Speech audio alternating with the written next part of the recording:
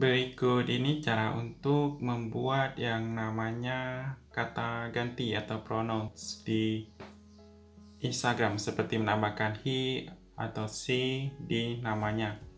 Perlu kalian ketahui itu tidak semua akun akun Instagram mendapatkan fitur ini karena kalau saya cek di sini, nah saya punya dua akun jadi satu akun ini tidak ada fitur tersebut. Lihat di bagian edit profil, nah di sini tidak ada. Kemudian di akun satu lagi itu baru ada. Nah, yang ini bisa ditambahkan.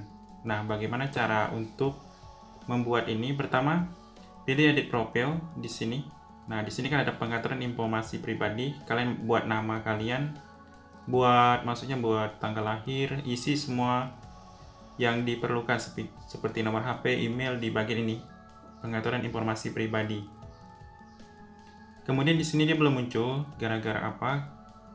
Kita harus mengubah bahasa dari akun Instagram kita itu ke bahasa Inggris. Jadi caranya pilih icon tiga garis, pilih pengaturan di sini, kemudian pilih akun, pilih bahasa. Nah, di sini ubah ke bahasa Inggris.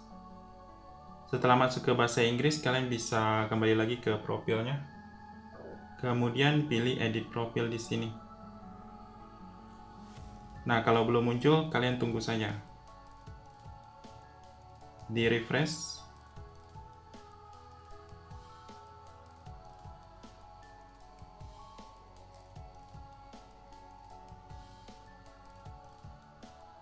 Jadi dia tidak langsung muncul. Nah kalau masih tidak muncul juga kalian bisa seperti ini. Cari twitternya tekan lama pilih info aplikasi atau icon i dalam lingkaran.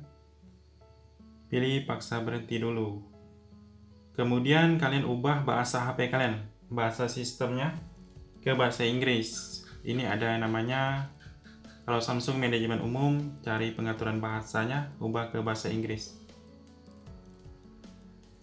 Setelah diubah, coba dibuka yang namanya Instagram. Setelah itu pilih profil, kemudian pilih edit profil.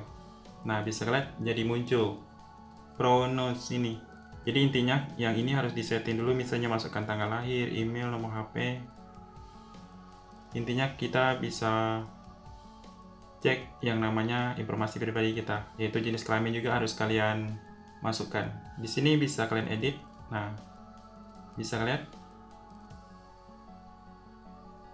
kalian bisa ketik di sini misalnya him nah. Kemudian show to follower only. Kalau yang ini hanya tampil pada pada pengikut saja. Kemudian pilih icon ini untuk menyimpan. Nah bisa kalian di sini ada tulisan him. Jadi cukup mudah. Silahkan kalian buat dengan kata yang lain. Misalnya si seperti ini. Atau bisa tambahkan lebih dari satu.